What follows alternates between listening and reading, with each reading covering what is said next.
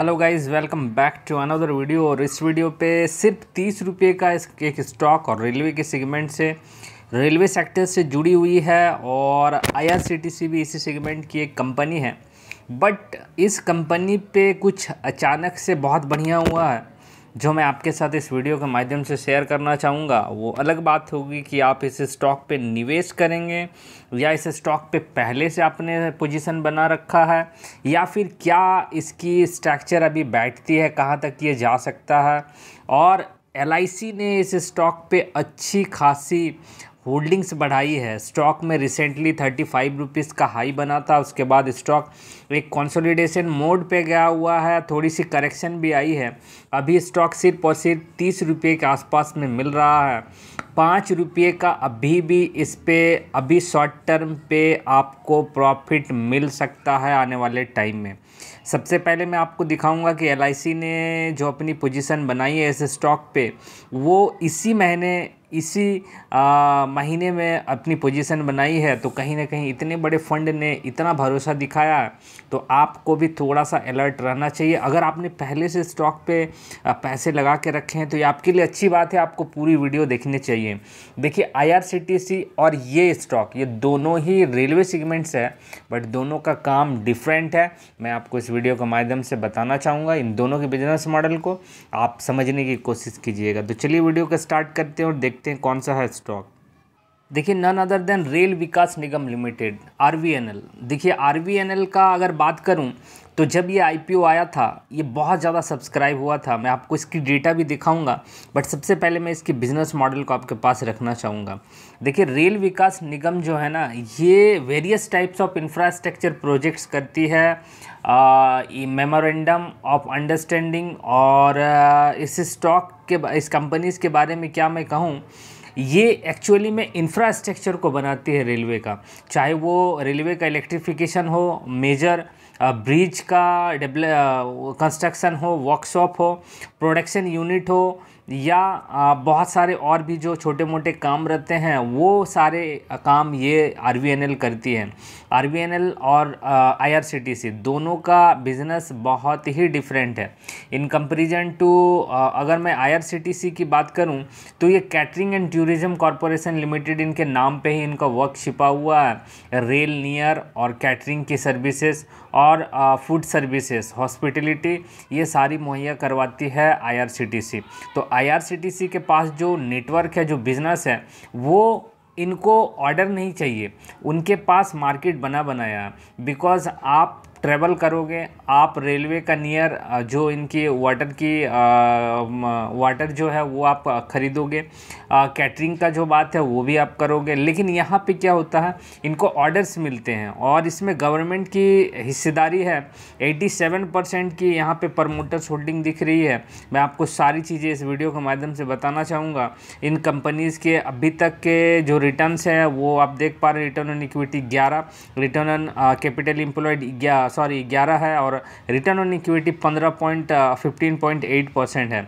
अगर स्टॉक की अभी हाल फ़िलहाल की बात करूँ तो तीन महीने में सत्ताईस परसेंट मैंने इस स्टॉक को बीस, बाईस रुपये पे आपके पास प्रेजेंट किया था।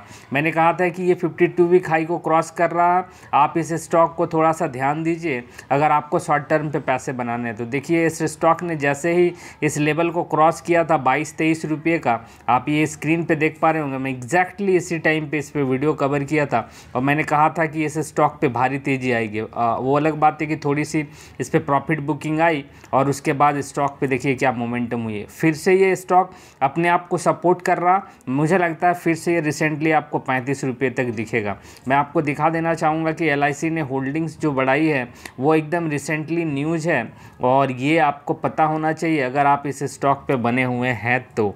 देख लीजिए LIC ने लगभग नौ की हिस्सेदारी एक्वायर की है और ये बिज़नेस टुडे टुडे के वेबसाइट पे हो, मनी कंट्रोल के वेबसाइट पे हो या इकोनॉमिक्स टाइम्स हो, जहाँ पे भी आप चाहें, आप वहाँ से इस चीज़ को कंफर्म कर सकते हैं कि आईआरसीटीसी पे सॉरी आरवीएनएल पे एलआईसी ने साढ़े आठ परसेंट से भी ज़्यादा की हिस्सेदारी एक्वायर की है। O F S offer for sales आया था, जिसमें अट्ठाईस रुपये समथिंग का प्राइस सेट किया गया था और इसीलिए स्टॉक पे क्या हुआ हुआ, अट्ठाईस रुपये का लेवल भी आपको देखने को मिला। तो अभी क्या करना चाहिए? देखिए स्टॉक में ऑलरेडी एक सपोर्ट के पास से ये स्टॉक घूम के आया है। स्टॉक में एक गिरावट आई थी, जो इस गिरावट को सत्ताईस रुपये पचास पैसे से भी नीचे लेके गई थी। बट इस स्टॉक पे अभी एकदम रिसेंटली उन्नीस रुपये पचहत्तर पैसे पे एक एक हर्डल है, जो कि पचास पॉइंट पचास पैसे ऊपर में ही है। तो जब तक ये स्टॉक उनतीस रुपये पचास पैसे, पचहत्तर पैसे को नहीं निकालता है, आपको फ्रेश पोजिशन नहीं बनानी है। जब तक ये ऊपर नहीं जाएगा, तब तक इसमें फ्रेश तेज़ी आपको देखने देखने को नहीं मिलेगा। तो जो इसमें तेज़ी की गुंजाइश थी, वो ऑलरेडी आ चुकी है। अभी आपको सिर्फ़ और सिर्फ़ वॉच करना है और अगर आप अपने इस स्टॉक को आप अपने पोर्टफोलियो पे जगह देना चाहते हैं, जो कि एक बेस्ट फंडामेंटल कंपनी है और बहुत छोटे प्राइस में, जो तीस रुपये, चालीस रुपये वाले स्टॉक्स ढूंढते हैं ना छोटे प्राइस वाले बढ़िया क्वालिटी का स्टॉक है आर बी एन एल जी हाँ।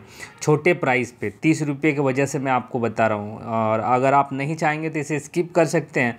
और भी बहुत सारे स्टॉक्स हैं जहाँ पे आप पैसे लगा सकते हैं। लेकिन तीस रुपये का स्टॉक है बेस्ट फंडामेंटल वाला, इसीलिए मैं आपको कह रहा हूँ कि इस स्टॉक को एक बार ज़रूर अपने रेडार पर रखिए और यहाँ पे एक काउंटर ऐसा है जो आपको लॉन्ग टर्म पे हो सकता है एक अच्छा खासा गेन दे दे बिकॉज़ रेलवे का मॉडिफिकेशन हो रहा है इंफ्रास्ट्रक्चर पे जो भी चेंजेस आएँगे, कहीं ना कहीं आरवीएनएल को कॉन्ट्रैक्ट मिलेगा डेफिनेटली मिलेगा, इस चीज़ को ध्यान में रखिएगा। ये सभी चीज़ें आपको कहीं नहीं मिलेगा, ये चैनल मार्केट मूवर ये एक ऐसा चैनल है, जो आपको आने वाले बिज़नेस मॉडल्स समझाने की कोशिश करता है कि क्यों इस कंपनी का फ्यूचर ग्रोथ हो सकता है? बिकॉज़ आपको पता है रेलवे का मॉडिफिकेशन हो गया डिजिटल डिजिटलाइजेशन की प्रोसेस पे रेलवे का पूरा सेक्टर है, आपको भी पता है। तो कौन चेंज करेगा? जो इंफ्रास्ट्रक्चर का काम करता है, वही ना करेगा। चलिए, जो भी है कॉन्ट्रैक्ट मिलेंगे इनको आगे जाके पे। अभी भी ऑर्डर बुक इनका ख़राब नहीं है। तो उनतीस रुपये पे, जो अभी शॉर्ट टर्म में पोजीशन बनाना चाहता है, वो तीस रुपये के पार में जब ये स्टॉक निकले मतलब तीस रुपये पे जब ये ट्रेड करने लगे, तब स्टॉक पे पोजीशन बनाना है। स्टॉक पे बत्तीस रुपये और तैंतीस रुपये का पहला टारगेट होगा और ये दोनों इस इस प्राइस के पास पहुँचने के बाद में हो सकता है थोड़ी सी प्रॉफिट बुकिंग आए, लेकिन आने वाले दो, एक दो महीने के अंदर में स्टॉक फिर से आपको पैंतीस रुपये पे दिखना चाहिए, ऐसा मुझे लगता है। बाकी देखिए मार्केट की तो कोई गारंटी नहीं है कब क्या हो जाए, किसी को कुछ पता नहीं है। अगर मार्केट पैनिक होता है तो फिर तो अच्छे अच्छे कंपनीज़ के शेयर गिरने लगते हैं, फिर आर क्या चीज़ है, ठीक है? इस चीज़ को समझिएगा और उसी हिसाब से डिसीज़न लीजिएगा कि पैसे कौन से टाइम फ्रेम के लिए लगा, लगाना है। आपको दो साल के लिए लगाना, आपको छः महीने के लिए लगाना, आपको तीन महीने के लिए लगाना है, या आपको सिर्फ़ दो दिनों के लिए लगाना, पाँच दिनों के लिए तो जो छोटे टाइम फ्रेम वाले हैं, उनको अभी थोड़ा सा वेट करना चाहिए। जो दो से तीन महीने के लिए देख रहे हैं, उनके लिए अच्छा लेवल हो सकता है आने वाले एक दो महीने के लिए। ये स्टॉक आपको प्रॉफिट दे सकता बाकी मर्ज़ी आपकी होगी। देखिए, आप भी स्टॉक मार्केट पे बहुत दिनों से होंगे बट अपडेट की कमी की वजह से आप अपने आप को डिसाइड नहीं कर पाते हैं कि कौन से स्टॉक से जाऊँ कौन से स्टॉक पे कैसी पोजीशन बनाऊँ तो वो मैं आपके साथ शेयर करता हूँ। बाकी मर्ज़ी आपकी है। आप स्टॉक पे डिसाइड कीजिए कि आपको क्या करना है, कौन से टाइम फ्रेम के लिए देखना मैं आशा करता हूँ आपको बहुत सारी चीज़ें इस वीडियो के माध्यम से बता पाएँ और वीडियो अच्छा लगे तो लाइक कीजिएगा, साथ ही चैनल को सब्सक्राइब कीजिएगा। स्टॉक पर बनने से पहले खुद की स्टडी एनालिसिस ज़रूर कीजिएगा, ताकि आपको भी आगे जाके कुछ सीखने को मिले। मैं मिलता हूँ नेक्स्ट वीडियो पे। Thank you